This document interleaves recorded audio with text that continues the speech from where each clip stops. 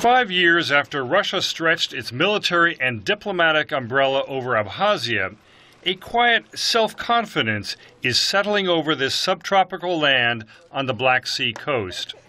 People speak Russian, use Russian rubles, and carry Russian passports. The only train goes north to the Russian city of Sochi and ultimately to Moscow. In a sign of the new stability, 2 million Russian tourists are expected to visit Abkhazia this year. Izida Chanya edits the Nuzhnya Gazeta newspaper. In the summer, it's really difficult to find a place to stay in a hotel.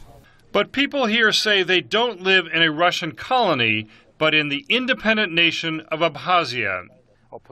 Beslan Baratelia teaches economics at Abkhaz State University. People don't talk here about how in Russia or any other country the pay is higher than in Abkhazia.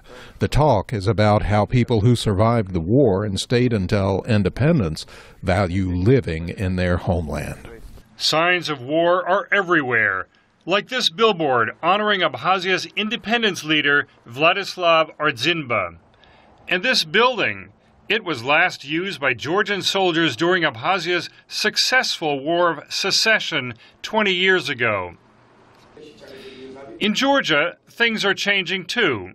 Bidzina Ivanishvili, the new prime minister, is trying to restore relations with Abkhazia's patron, Russia.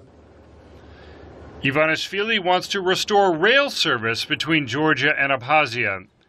In a signal to this breakaway republic, the Georgian leader is canceling military parades and renaming the Ministry of Reintegration the Ministry of Reconciliation. Vyacheslav Chirikba, Abkhazia's foreign minister, remains cautious. Happily, we uh, can uh, look at it uh, from the uh, safe distance. It's not a part of our our uh, our political life anymore. Happily, because it's it's a foreign country. But he added, Abkhazia plans to increase the number of border crossings with Georgia from one today to five by year's end. We are very responsive to any positive signals from Georgia, and uh, everything which is peaceful uh, sounding uh, is welcome, of course, in, in Abkhazia. We don't want to be eternal enemies with Georgians.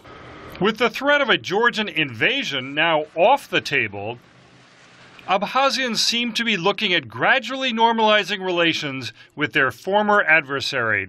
James Brooke, VOA News, Sukhumi, Abkhazia.